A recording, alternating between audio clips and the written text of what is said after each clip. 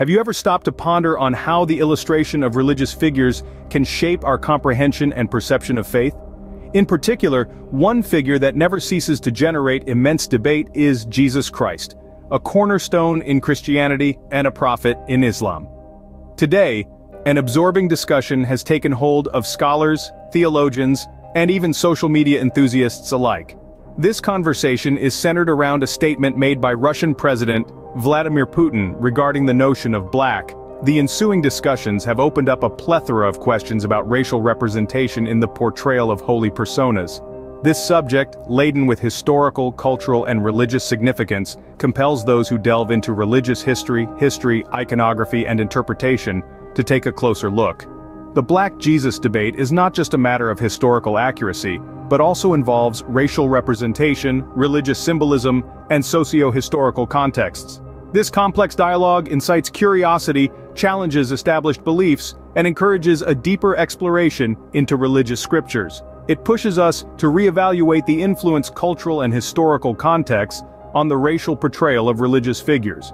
On one side of the debate, there are advocates who argue that the illustration of Jesus as a black man is in line with the descriptions provided in the Bible. They cite verses from the book of Revelation that describe Jesus as having hair white like wool, and feet like unto a brass, as if they burned in a furnace. They interpret these depictions as indicative of a man of African or Middle Eastern descent. These proponents present evidence, historical accounts, archaeological finds, and, and geographical context to back their assertions. They emphasize the importance of racial representation in religious symbolism, arguing that depicting Jesus as black offers a powerful image for people of color, and challenges the dominance of white figures in religious, in religious art. Yet the portrayal of Jesus as black extends beyond historical accuracy. It's a potent symbol in contemporary times, a reflection of our own beliefs and values. It presents an opportunity for introspection, for challenging ingrained biases, and for fostering an inclusive understanding of religious figures. This debate has been reignited by President Putin's recent statement, compelling us to revisit our understandings and challenge our preconceptions. The image of Jesus, whether black, white, or somewhere in between, is a mirror that reflects our society identity.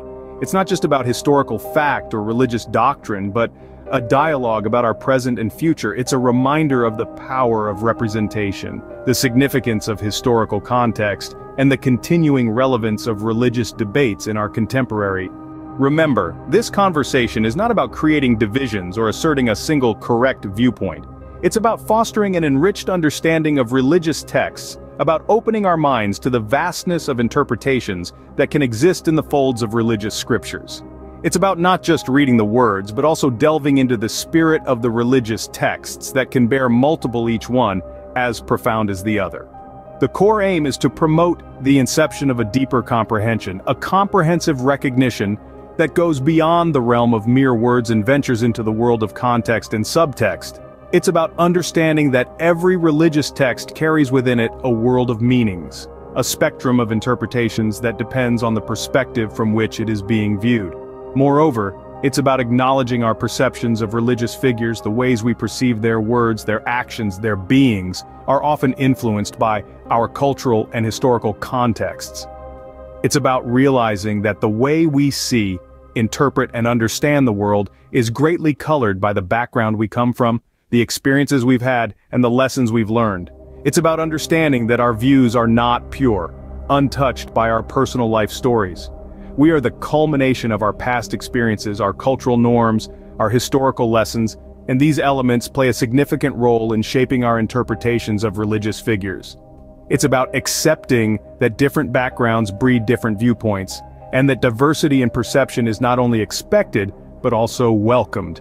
It's about recognizing that the very essence of faith lies in its deep-rooted complexity, its vastness, and its immense diversity. In summary, the debate about the portrayal of Jesus, whether black or otherwise, invites us to engage with our faith in scriptures in a more thoughtful and nuanced way. It calls upon us to delve deeper into our faith, to question, to ponder, to reflect.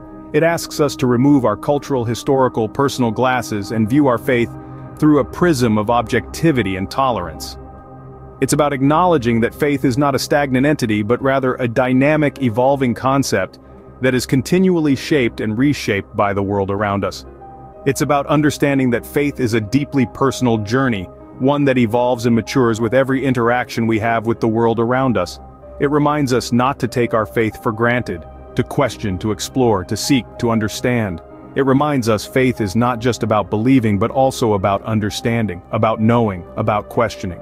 It reminds us that faith is not a destination but a journey, a journey of discovery, of understanding, of enlightenment. So as we navigate this fascinating debate, let's remember to approach it with an open mind, a respectful attitude, and a willingness to learn from one another. Let's remember that the essence of this conversation is not about proving who is right or wrong, but about understanding each other's perspectives, about learning from each other's experiences, about growing together in faith.